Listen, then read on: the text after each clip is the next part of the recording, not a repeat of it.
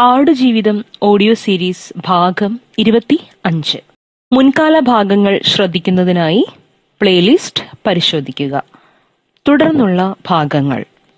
എന്നാൽ ഇവിടെ നിന്നോടി അപരിചിതമായ മരുസ്ഥലികളിൽ എത്തിപ്പെട്ടിട്ട് എനിക്ക് അതുകൂടി നഷ്ടപ്പെട്ടാലോ? പിന്നെ ആ ഓട്ടത്തിന് എന്തർത്ഥം? എല്ലാ തടവറകൾക്കും മതിലുകൾക്കും എന്തൊക്കെയോ സുരക്ഷിതത്വത്തിന്റെ ഒരു വലയമുണ്ട്. ആ വലയം മുറിച്ചെറിയാൻ തൽക്കാലം എനിക്ക് മനസ്സ് തോന്നിയില്ല. അനുയോജ്യമായ അവസരം വരുന്നതുവരെ സുരക്ഷിതമായ ലക്ഷ്യത്തിൽ എത്തിപ്പെടും എന്ന് ഉറപ്പുവരും വരെ കാത്തിരിക്കുവാൻ ഞാൻ തീരുമാനിച്ചു. എന്റെ ആ തീരുമാനം ശരിയായിരുന്നോ അറിയില്ല. അത് തീരുമാനിക്കേണ്ടത് ഞാനല്ല. സ്വന്തം വിധിയെപ്പറ്റി നിർവചനങ്ങൾ നടത്തുവാൻ ആർക്കും കഴിയും. തണുപ്പ് കാലമായതോടുകൂടി കൂടുതൽ ചെമ്മരിയാടുകളെ ട്രക്കുകളിൽ മസറയിൽ കൊണ്ടുവന്നിറക്കി. ഇനി ചൂട് വരും വരെയുള്ള ആറുമാസക്കാലത്തേക്ക് അവയുടെ കാലമാണ്. ശരിക്കും ഉയർന്ന മലമടക്കുകളിലെ തണുപ്പു നിറഞ്ഞ കാലാവസ്ഥയിൽ ജീവിക്കാനായാണ് അവയെ സൃഷ്ടിച്ചിരിക്കുന്നത് തന്നെ. അവയെ ഈ മരുഭൂമിയിൽ കൊണ്ടു തള്ളുന്നത് തന്നെ അവയോട് ചെയ്യുന്ന പാതകമാണ്. ചൂടുകാലമാവുമ്പോഴേക്കും ഒട്ടുമുക്കാല എണ്ണത്തിനെയും വിറ്റു തീർത്ത് വിറ്റു തീർക്കുമെങ്കിലും അവശേഷിക്കുന്നവയുടെ കാര്യം കഷ്ടം തന്നെ. ചൂട് ഏറുമ്പോൾ സ്വന്തം ശരീരത്തിലെ ചെമ്മരി പുതപ്പിനുള്ളിൽ കിടന്ന് അവിഞ്ഞ് അവ പൊള്ളിച്ചാവും. അങ്ങനെ എത്ര എണ്ണത്തിനെ ഞാൻ കണ്ടിരിക്കുന്നു? ഒന്നിനെയും അർബാബ് കളയില്ല. വലിച്ചുകൊണ്ട് വണ്ടിയിൽ കയറ്റി കൊണ്ടുപോകും. പിന്നെ അത് ചൂടുള്ള ആടുകറിയായി വല്ല കടകളിലും വിളമ്പുന്നുണ്ടാവും. ശരിക്കും കോലാടുകളാണ് മരുഭൂമിക്ക് പറ്റിയത്. ഏത് ചൂടും സഹിക്കാൻ അവയ്ക്ക് ത്രാണിയുണ്ട്. ചെമ്മരി മുറിച്ചു വിൽക്കുന്നതിലൂടെ കിട്ടുന്ന വലിയ ലാഭം പ്രതീക്ഷിച്ചാവണം അർബാബ് ആ ആടുകളെ ഇവിടെ കൊണ്ടുവരുന്നത്. മഴ കഴിഞ്ഞതോടെ മസറ മുഴുവൻ അളിഞ്ഞു പുളിഞ്ഞു. അതുവരെ കെട്ടിക്കിടക്കുന്ന ആട്ടിൻകാട്ടവും മൂത്രവും കച്ചിയും പോച്ചയും എല്ലാം കൂടി അളിഞ്ഞ ഒരു കെട്ട ഗന്ധം അതെല്ലാം വലിച്ചു മാറ്റി മസറ വൃത്തിയാക്കുക എന്നത് എന്റെ മൂന്ന് നാല് ദിവസത്തെ നടുവൊടിക്കുന്ന പണിയായിരുന്നു. തണുപ്പ് തുടങ്ങിയതോടെ മസറയിൽ വിളിക്കാതെ വന്നെത്തിയ അതിഥികളാണ് ഈച്ചകൾ. ചുറ്റോടു ചുറ്റും ഈച്ചകൾ. കുപ്പൂസ് കഴിക്കാനിരുന്നാൽ അതിൽ വന്നിരിക്കും ഒരായിരം ഈച്ചകൾ. അതിനെ ആട്ടിയോടിക്കാനായി മാത്രം ഒരു കൈ വിശറി പോലെ മാറ്റിവെക്കണം മസറയിലേക്ക് ചെന്നാൽ കടന്നൽ കൂട്ടിൽ കയറിയതുപോലെ ഈച്ചകളുടെ ഇരമ്പൽ കേൾക്കാം.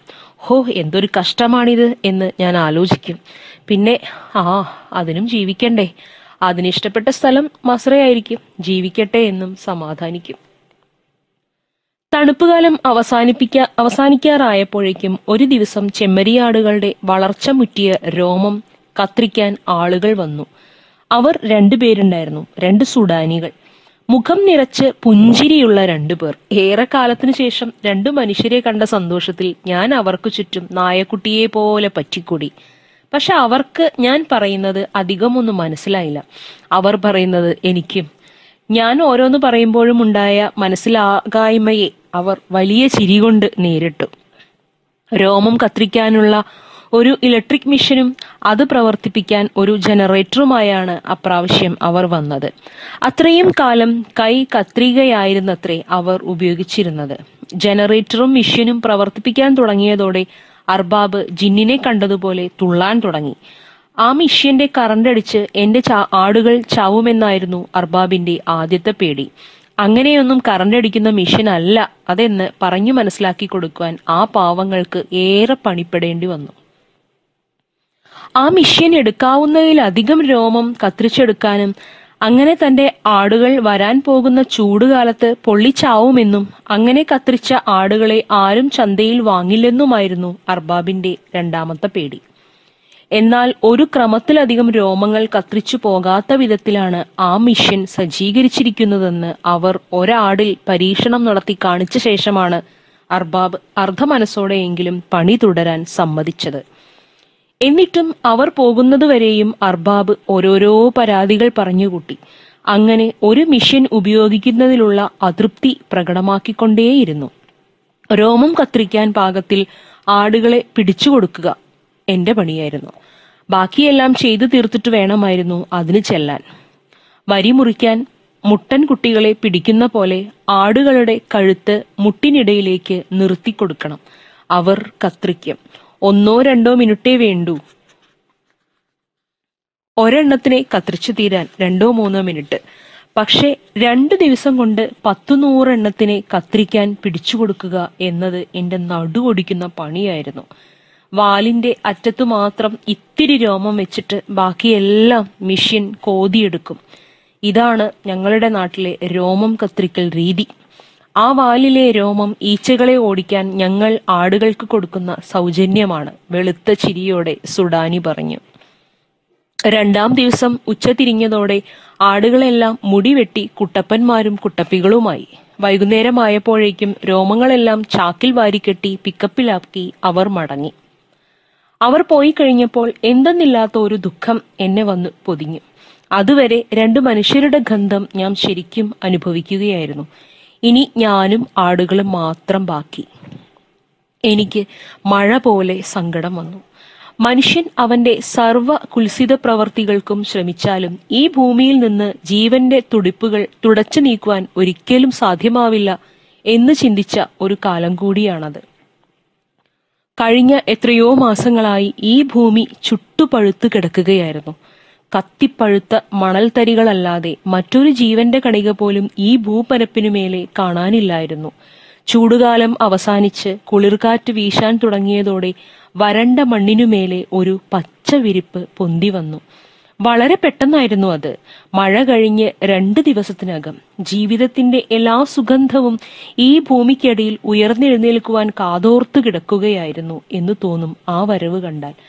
കള്ളിമുൾ ചെടികൾ മണ്ണിൽ പടർന്നു കിടക്കുന്ന ചെടികൾ പാറക്കല്ലുകൾക്ക് മേലെ പായലുകൾ ചില നാണം കുടുങ്ങി ചെടികൾ ചില മഷിത്തണ്ടുകൾ ആകാശത്തിന്റെ അതിരുകളിലൂടെ സന്തോഷത്തിലേക്ക് നീളൻ ചിറകു വിരച്ചു പറക്കുന്ന പറവക്കൂട്ടങ്ങൾ ചൂളമടിച്ചു നീങ്ങുന്ന കരുകിൽ പക്ഷികൾ ചിലച്ചു നീങ്ങുന്ന പച്ചപ്പനന്തത്തുകൾ ഇളം കുറുകലോടെ പിറുപിറുക്കുന്ന ഇണപ്രാവുകൾ. എവിടെ നിന്നാണ് ഇവ വരുന്നത്? കഴിഞ്ഞ ദിവസങ്ങളിൽ അത്രയും സ്വന്തം ജീവനെ അടക്കിപ്പിടിച്ച് ആ സസ്യജാലങ്ങൾ ഈ മരുഭൂമിയുടെ ചൂടിനെയും തീക്കാറ്റിനെയും സഹിക്കുകയായിരുന്നു എന്ന ഓർമ്മ എന്നിൽ വല്ലാത്തൊരു കുളിർക്കോരി നിറച്ചു. വളരെ കുറച്ച് ദിവസങ്ങൾ കൊണ്ട് ആ ചെറുചെടികൾ വളർന്നു വലുതാകുന്നതും പൂവിടുന്നതും കായ്ക്കുന്നതും നാളേക്ക് വേണ്ടി ജീവനെ ഭൂമിയുടെ ഗർഭത്തിൽ ഒളിപ്പിക്കുന്നതും ഞാൻ എന്റെ കൺ കൺകുളിർക്കെ കണ്ടു. എനിക്ക് അവയോട് എന്ത് ഇഷ്ടം തോന്നിയെന്നോ? ഞാൻ അവയുടെ അരികിൽ ചെന്നിരുന്ന് അവയോട് വർത്തമാനം പറഞ്ഞു. അവയുടെ സങ്കടങ്ങൾ കേൾക്കുകയും അവയോട് സങ്കടങ്ങൾ പറയുകയും ചെയ്തു. ആ ചെടികൾ എനിക്ക് പറഞ്ഞു തന്നത് ജീവിതത്തിന്റെ വലിയ പ്രതീക്ഷയുടെ പാഠങ്ങളാണ്.